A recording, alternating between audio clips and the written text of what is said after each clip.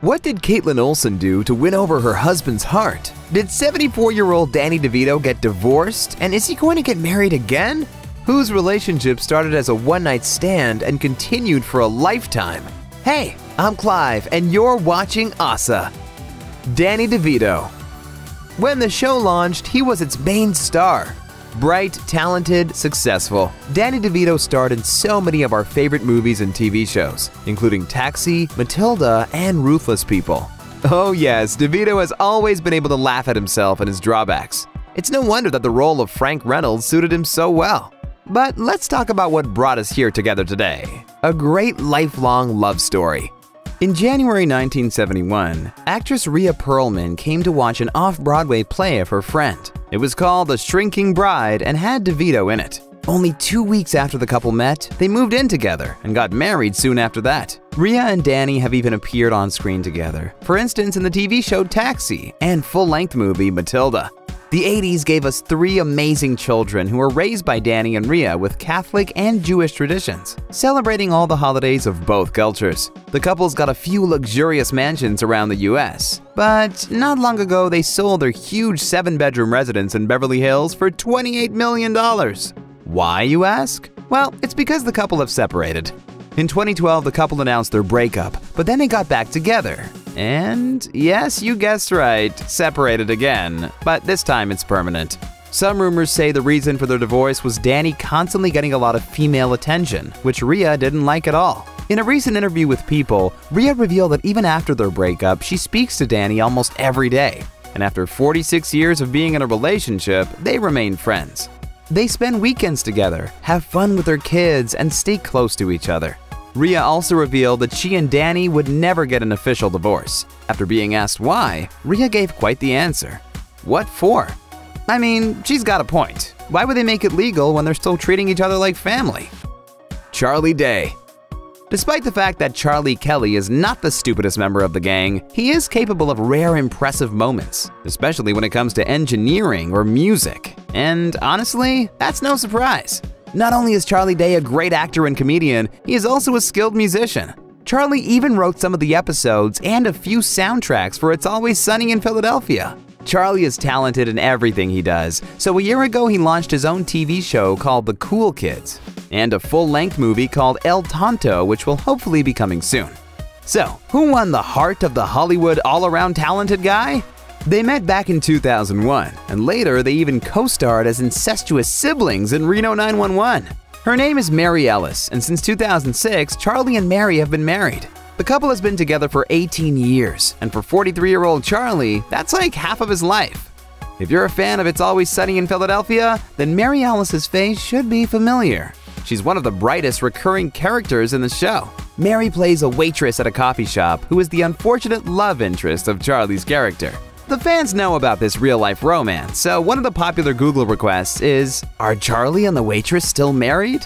Well, we'll give you the answer. Yes, they are. They're still together, and back in 2011 they welcomed their son, Russell Wallace Day. This definitely makes us believe that this family is completely happy together. Here's what the actor's wife told AfterBuzz about their long romance.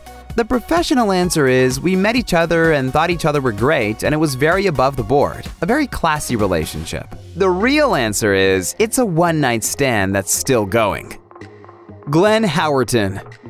Just like other guys from the main three in the sitcom, not only did Glenn portray one of the leading characters, but also became an addition to the team of authors and producers of this long-running show. Before this project, he wasn't doing very well. All he really got were a few small roles here and there, including the one in That 80s Show, the spin-off of That 70s Show, which, unlike the first one, wasn't the audience's favorite.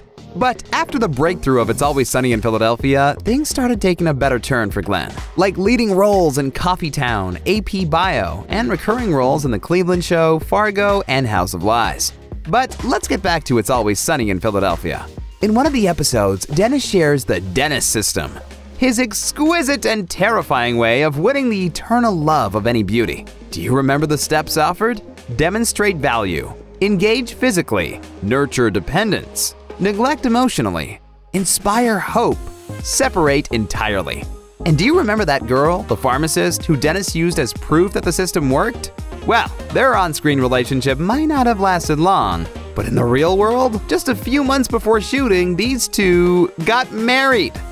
That's what the bride Jill Latiano said about her upcoming wedding. I knew what I wanted the feel of our day to be romantic, vintage, with a touch of glam.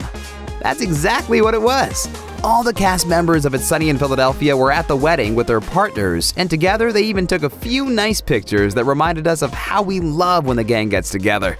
Now, Jill and Glenn have two sons seven year old Miles and five year old Isley. We're happy for them, and we're moving on. Rob McElhenney.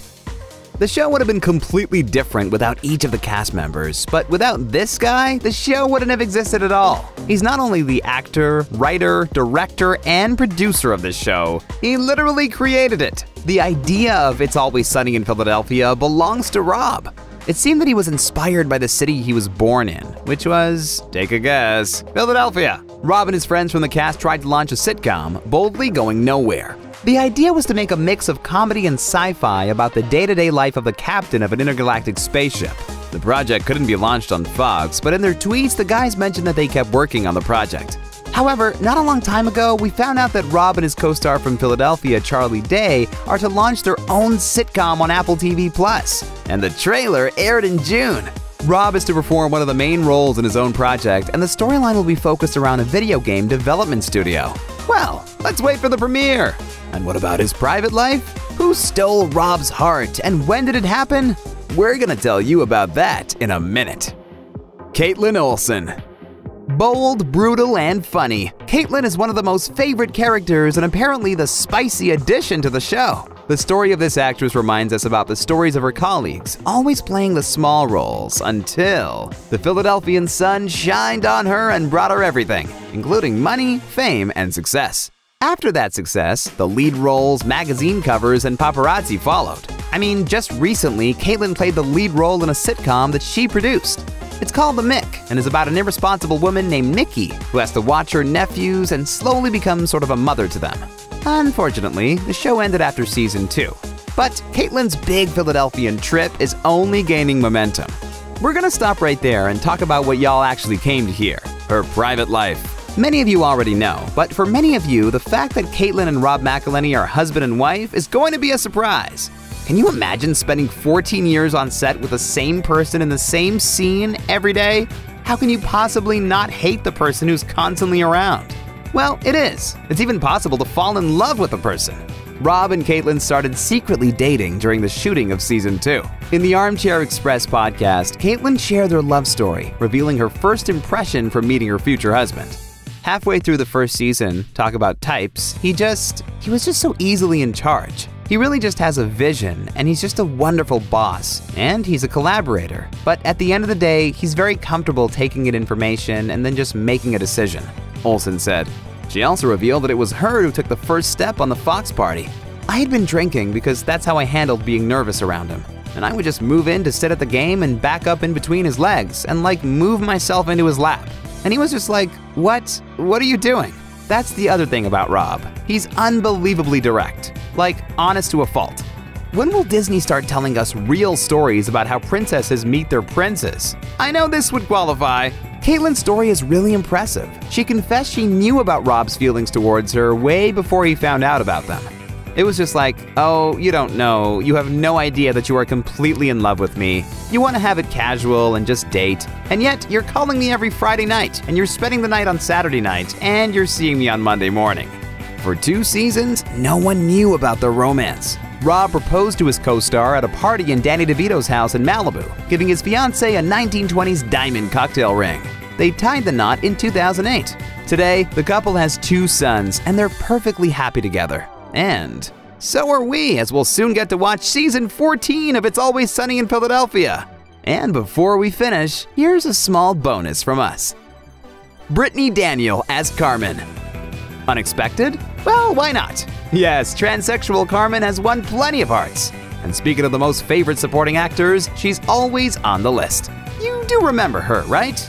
the spectacular lady who drives Mac crazy. But despite everything, and let's not forget those contradictory feelings, he still dates her. Unlike Carmen, Brittany did not change her sex and has always been a girl. Brittany met her husband at the popular Santa Monica hangout spot at Fairmont Miramar Hotel and Bungalows.